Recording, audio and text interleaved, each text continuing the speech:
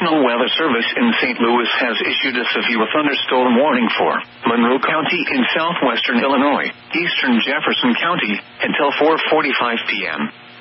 At 3.45 p.m., a severe thunderstorm was located over Horine, moving east at 40 miles per hour. Expected hazards include 60 miles per hour wind gusts and penny-sized hail. This is a radar-indicated threat.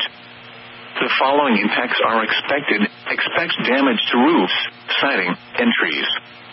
Locations impacted include Festus, Waterloo, Pevely, Crystal City, Red Bud, Herculaneum, Barnhart, Antonia, Valmeyer, Olympian Village, Fountain, New Design, Horine, Imperial, Hecker, Maeystown, Kimmswick, Fults, Madonnaville, and Chalfin Bridge.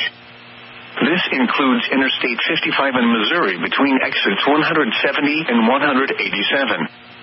This also includes Mastodon Historic Site and Gov. Dunklin's Grave Historic Site. For your protection, move to an interior room on the lowest floor of a building.